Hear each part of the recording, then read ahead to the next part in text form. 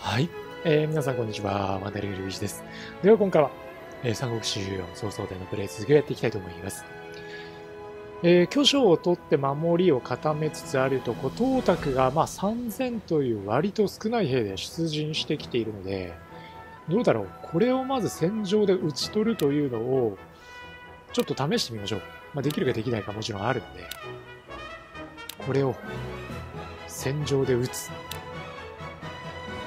まあ、一旦この陣までおそらく敵、東卓もやってくると思うんで、出陣するこの陣を破壊しながらうん敵の接近、東卓の接近を待ちましょかしこまったう。で、一通りいつもの提案系のイベントはこなしておく。ただ金がないからな金をそこまでドカンとつぎ込めるのかという確認もしておきたいよね。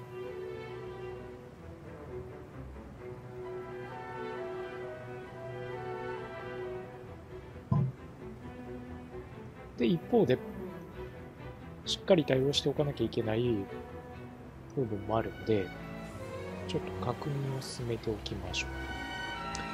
古老館の前は櫓、弓櫓建設中ですね。えーその他、三層近辺は今現在、まさに占領中なんですが、まあ、先に占領地を広げておきましょう。敵に奪われる前ですね。で、さらに、族の退治も行っておくか。族退治に時間をかけてる暇はあまりないんだけどね。こんなところかな、今すぐできるのは。あとは金が不足してきているので、再び道端で金を集めてこいという話ですね。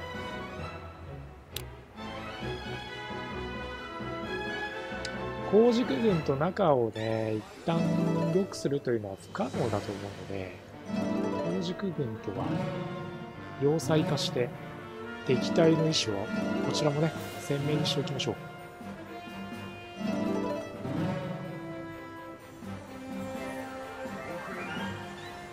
さあ東卓を十分に引きつけてお工事区軍の動きが活発化してるな。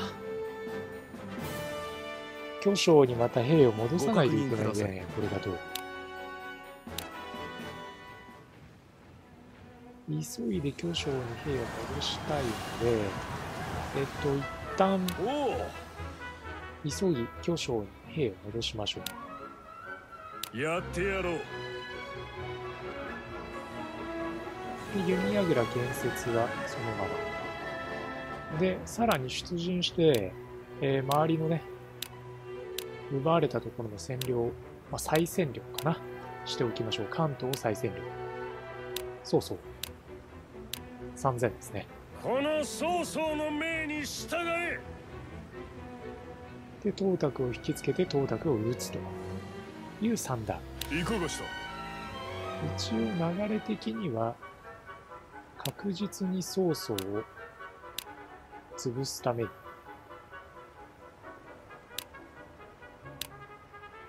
心得申した回り込みましょう。ここで曹操を撃つ。まさに討ち取るということに挑戦しましょう。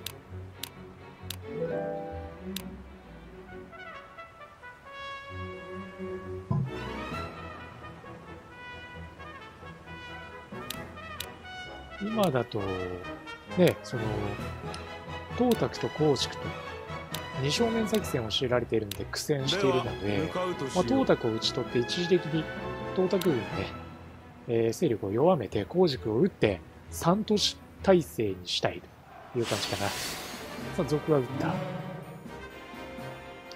賊を撃ったので急いで巨匠に兵を戻しましょう。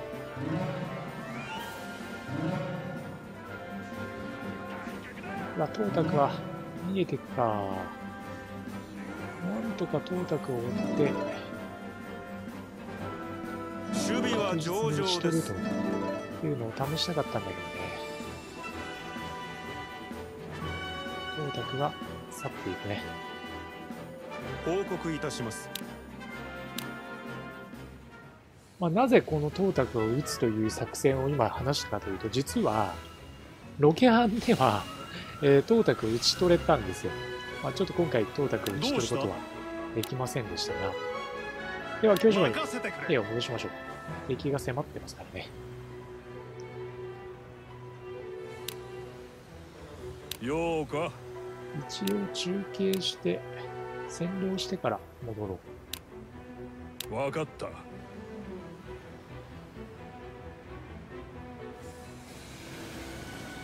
どうした？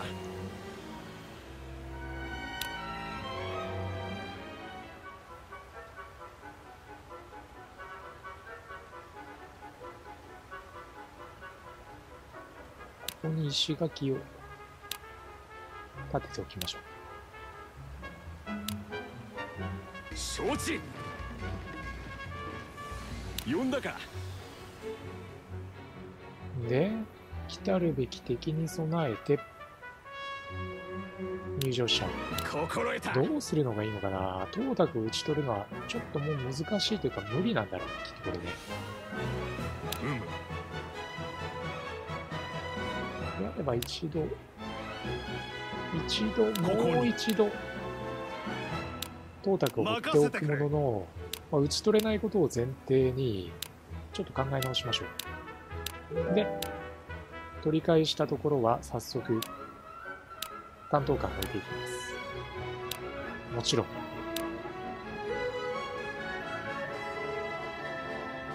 弊社。承知したまあ奪い合いが続いているっていう、取って取られてっていう状態が、まあ、健全な状態なのかどうかっていう判断がね、ちょっとなかなか今今できていないんですけど、おそらくこういうゲームなんじゃないかなと思うんですよ。取った取られたを繰り返しながら、え勢力を、まあ、徐々に徐々にと広げていく。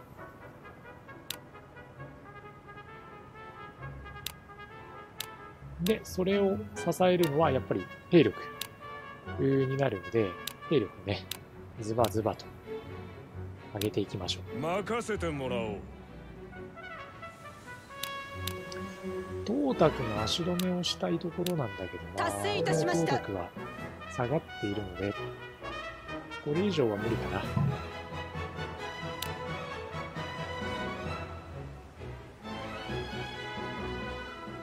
いや、トータクやってくる。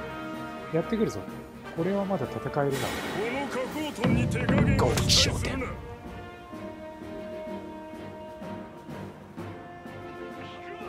いやー、強い。強いよ、トータク。トータクさん強いわ。これは囲うと一度兵を引いて、巨匠で迎え撃ちましょう。ご確認くださいロケハンの時はね、あのー、トータクこういう動きをしなかったんですよ。なのでサクッといったんですけど、そうはいかないか。さすがだな、トータク。曹操の分も一度巨匠へ移動しましょう。いいだろう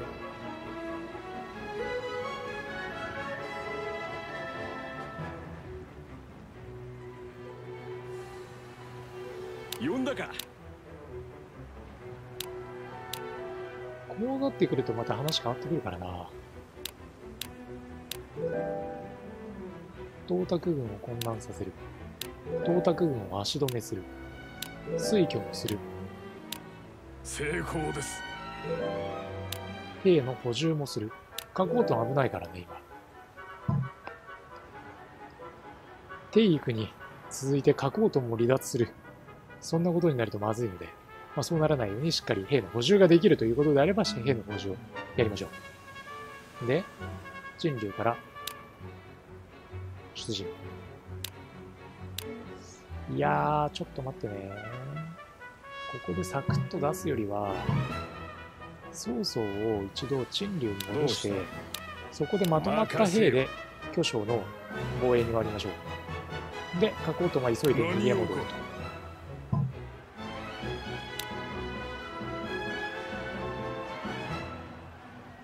吉報をお持ちしましたい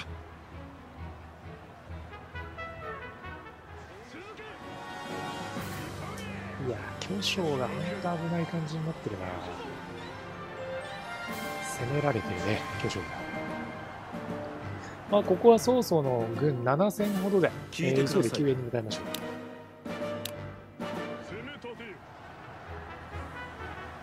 う。呼んだか？あとは、曹公の部隊も、えっと、未だ兵の数、魚輪の陣で4000を残してるので、この魚輪の陣も急いで敵の、しかも工事軍の撃退に向かいましょうか。で、その途中で、いや、ちょっと待ってね。工事軍は一度しっかりここで占領してから攻撃に向かおう。任せてもらおう7000は出せないね。そうそう、5000でいきましょうか。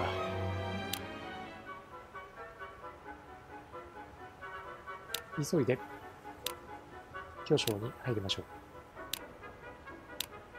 全力う。を加工トがこのままだと危ないので、急いで戻りたいけど、足がちょっと遅いね。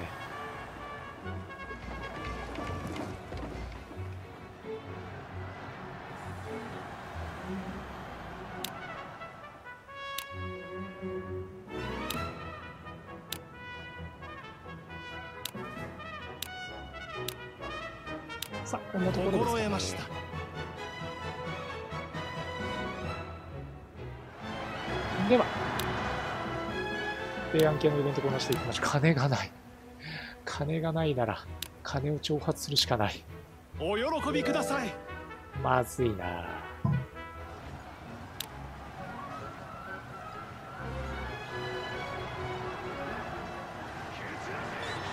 かくはここで逃げ帰るか。あっさり逃げ帰ったね。打ち取るチャンスではあったと思うんですけど、残念。まあ、さっきも同じと通り、あの、ロキハンジはトータクを実は打ち取れたので今回もね、打ち取れるかなと、ちょっと淡い期待をしたんですけど、まあそうはいかなかった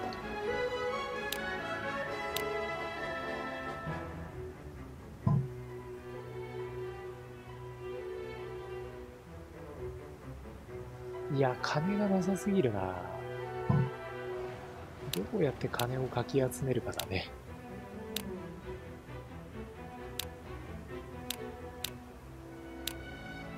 出立いたしますで、一度、加工トン巨匠に戻して、行きましょう。で、加工園の方も石垣の建築は進んでるので大丈夫だね。東卓が次出てきた時に確実に巨匠で敵を打ち取れるように、少し巨匠側に兵を増強しておきたいかな。できれば。さあ、道端に落ちてる金を拾い集めてこい。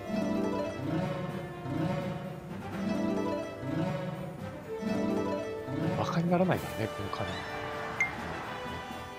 光軸と長雲が同盟あんまりグッドなニュースじゃない。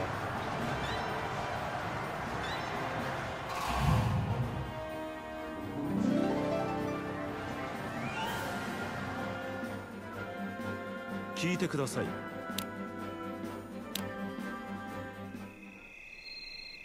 攻め立てよ。おおうむ。どうした？うむ。さて、金があるときは金を惜しまずに使う。そうするとね、金が、金がないっていう話になるんですけど、造作もありませんな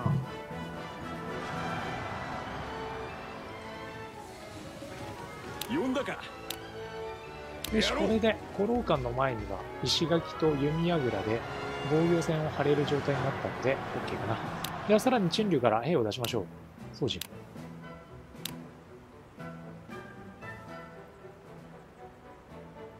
兵の数。まあ、4500もあれば十分だろう。これで、工軸軍を一気にくじく。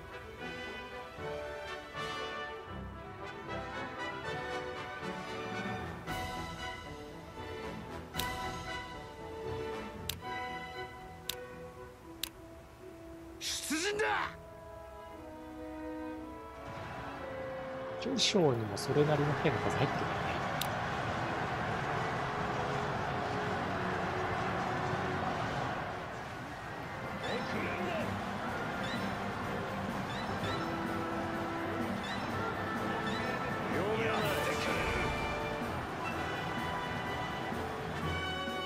ね。よし高軸軍に対してこちらが有利に立てるチャンスが来たな。五郎館の前の守りをしっかり固めたらなんか、不穏な動きがあるけどね。花公園の石垣作りが終わったら一度花公園の巨匠に戻しましょう。で、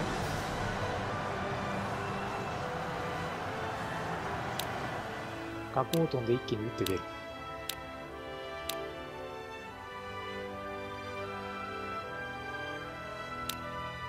そして、打ち取る。皆行くぞ金はどうなっている？うー、十分にあるとは言えないけど、ここは内政をおろそかにすると国力が落ちるので、まあ、金を使っていきましょう。で、失った金は、地面を這いつくばって、落ちてる金をかき集めてこい。もうこの地面に落ちてる金をいかにかき集められるかっていうのが、この曹操陣営の中の出世の要になりそうですね。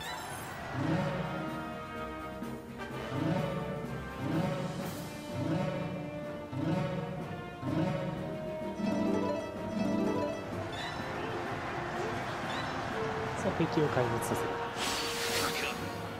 当然火を放て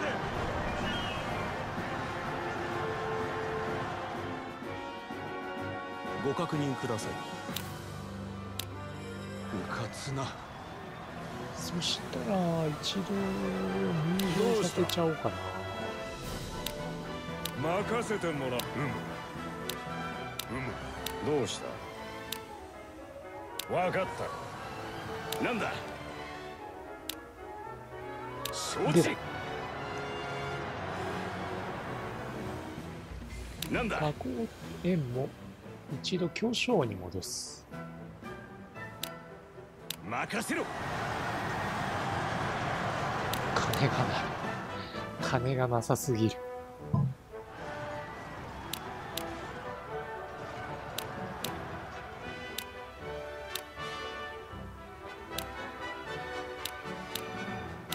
ただ初めて参ります工軸軍に対して数的有利、兵数の有利が作り出せそうなんで、ここはこの木を逃さず確実に、あのー、工軸軍をね、弱らせておきたいなとは思うんですよね。うまくいった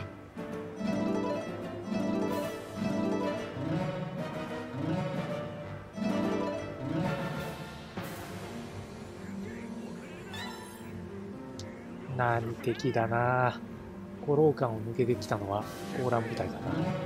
やってくれるなまあ、陳竜4000の兵がいるので、この4000で持ちこたえてもらおう。報告いたしますで、我々は確実に敵を減らしていく。分かったなんだ？分かった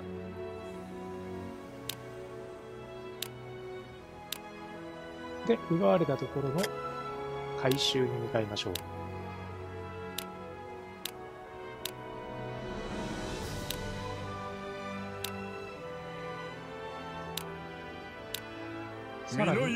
出陣して、核翼の陣引ける人いる？もう、まだいるね。いやー、微妙すぎる。微妙すぎるけど、まあ大丈夫だろう。奪ってこい。この曹操陣営の中で生き残りたくば、奪ってくるのだ。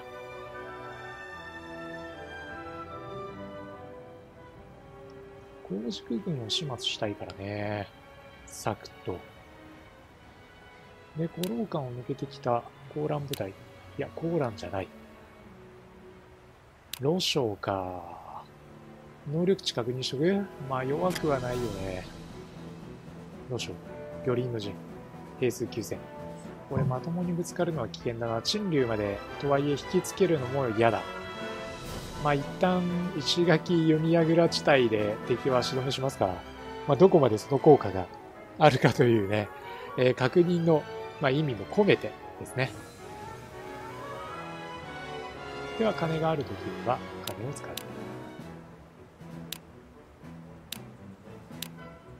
水挙もさせる。任務は成功だ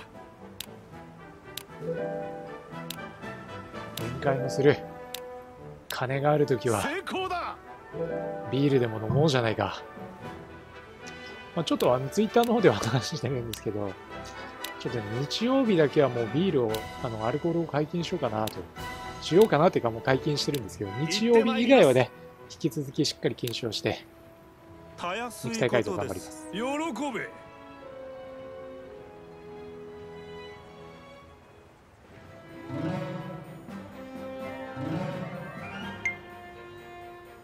必ずやお役に立ちましょう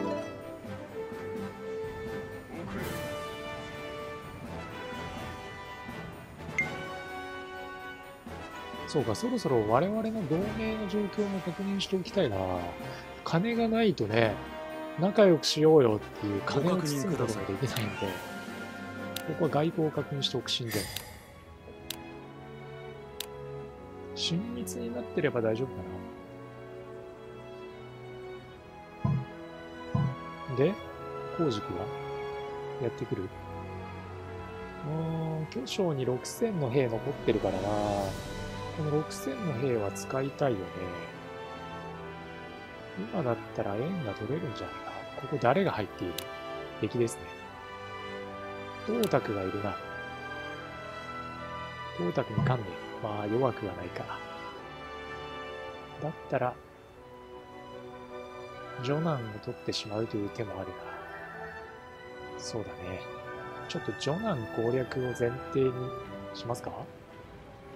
出陣。加工園。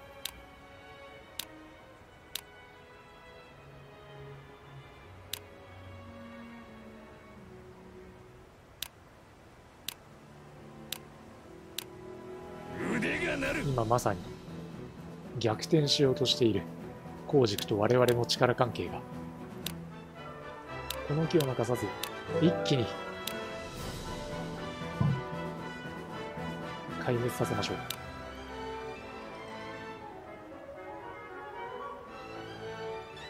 お東卓が出てきた。ちょっと待って。東卓が出てきている。この東卓を確実に仕留めたいから加工トン。戻ってこい加工トン。加工トン。戻っておいでと。いう話なんだけどな。ご確認ください。さてさてどうする？加工トンとト東卓まともにぶつかると危険だからな。巨匠から出陣するわ。結構兵を惜しみなく使っちゃってるからな。4000の兵を出して一気に東卓を。撃つ東卓を戦場にて撃ち取る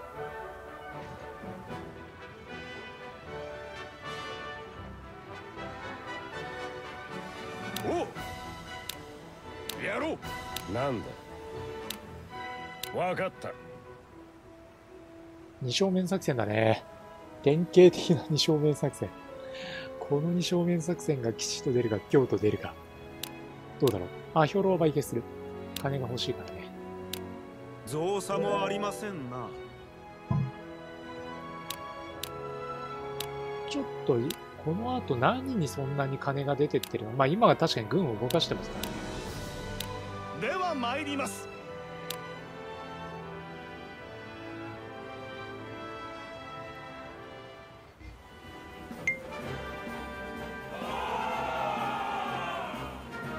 あついにロショーが突破してきたか。陳竜の4000で迎え撃たなきゃいけないんだな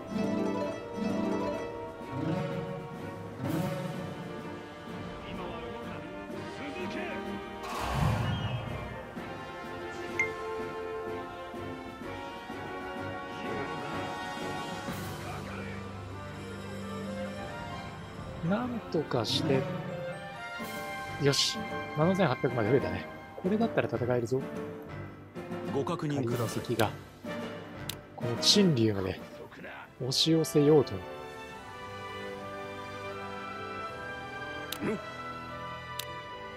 心得たどうした？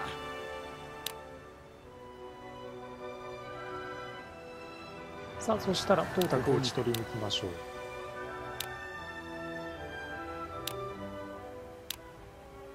かしこまったようかトータク、貴様やを打ち取る。で、金はどうなっている、まあ、ある程度あるか。まあ、推挙はしておいて、混乱があればいいんだけど、混乱はない。ト吉報ですータクの足を止める。さらに、家計も出す。士気も落とす。超粉体の士気は落とす必要なかった。貴重な、貴重な貴重な金を使ってしまった。ちょっと待ってね、その前に、行って地域内まいります定ができると思うので、担当官割り当てましょう。もちろん弊社だ。今は、1に弊社、2に弊社。3種も弊社で全部が弊社。そういう状態ですからね。酸素を奪われるのは尺だな。陳竜から軍を出そう。いや、こんなにさ、ガッシガシ軍を出してていいのかって話なんだよね。3連しか出せないのか。うーん、陳竜で敵を待ち伏せするのは微妙だな。連携は？連携。統率高い順に出して連携。これで、マックス6000。で、向かいましょう。連携技が発動すれば十分撃破できるという算段ですね。では、東卓を打ち取る。戦場にて。造作もありませんな成功だ成功だ足を止めた以上、確実に、東卓軍、そして東卓を打ち取れ。戦場にて。どう？あは、傷を忘れたきか、打ち取れなかったね。いやー、ロケハンのデータ残しとけばよかったな。東卓を打ち取ったんでね、あのー、くどいようですけど。報告いたします、まあ、東卓を打ち取る機会は、またの機会に取っておきましょう。今は、光軸だ。光軸に1万5000。味方が1万3000。まともにぶつかっても勝てないな。が、今の我々なんだ。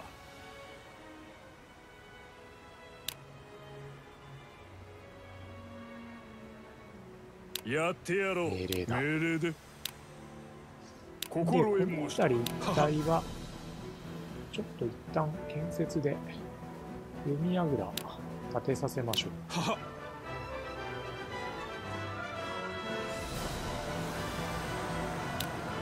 戦場で東卓打つことかなわず。まあ、ただ、追っ払うことはできたので、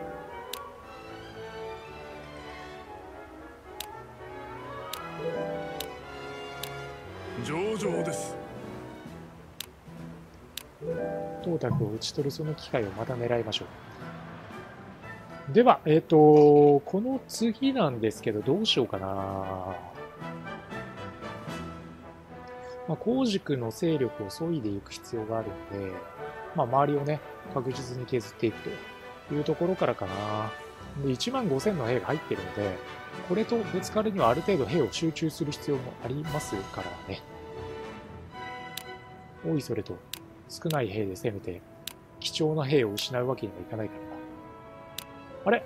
いつの間にか純育がいる。マジか。いついた？ありがたいわ。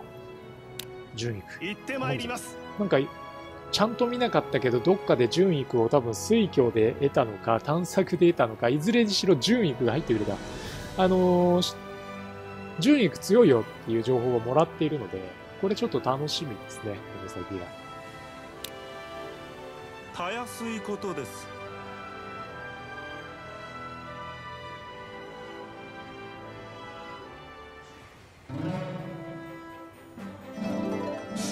探索重要だな。まあ、あるいは水郷だったのか、ちょっと今となってはわからないんですけど、まあ、すごくいいものだったというのは間違いなさそう。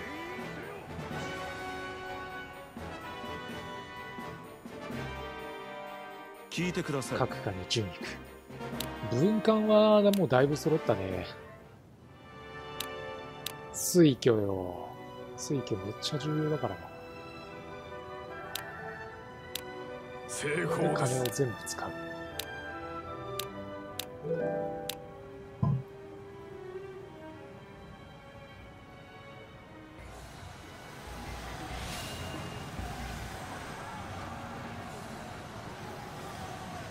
こちらにどうだろう、ローショーの舞台はこれはもう帰っていくパターンでいいのかな？こちらに一応攻撃を繰り返しておいて、仕留められるなら仕留めましょう。だやってやろう東卓軍のね、えー兵を削いでおくというのは、もちろん悪い話でもない。ここに加工とも一年入場させる。ちょっとかすすぎる。心兵力得申した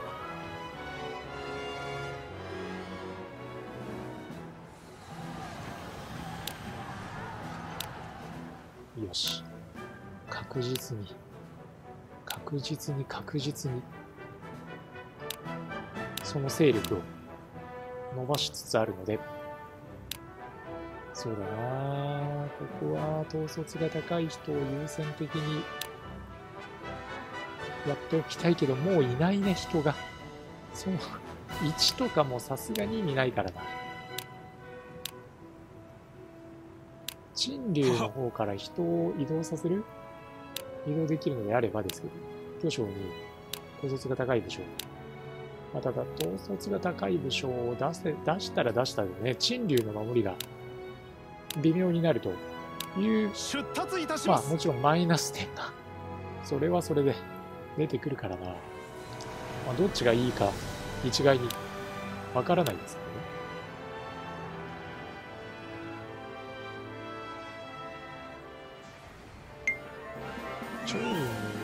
邪魔くさいことになってる。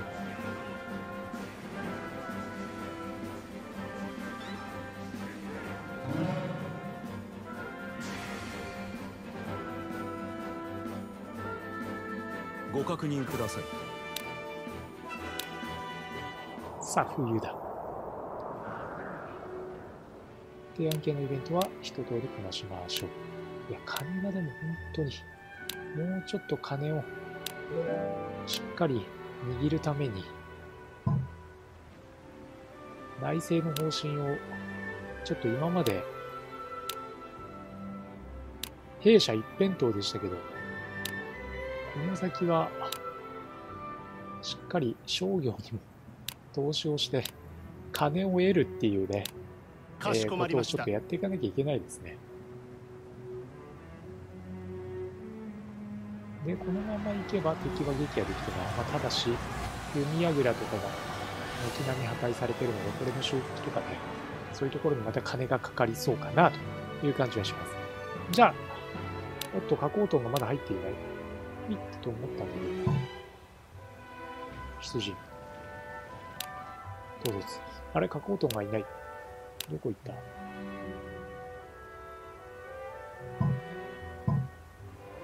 こは一気に壊滅させに行きたいので、工事区分を。そうだなどうしようかね。加工トンを出したかったんですが、一旦加工トンを出さずに我慢しますか。なんだ？承知どうした？分かった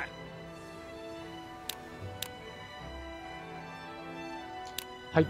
えーではちょっと長くなってきましたので、今回はここまでに一旦させていただいてですね、えーまあ、今回ちょっと東卓を戦場で打ち取ることができなかったんですが、まあ、東卓と戦い繰り広げつつ、なるべく早く工軸を下して、えー対東卓戦線にね、えー戦力を十分に集中させていきたいというふうに思っています。はい。最後までご視聴ありがとうございました。内容いかがでしたでしょうか？ぜひ、えー皆さんの感想や、あとアドバイスですね、いただければ嬉しいなと思います。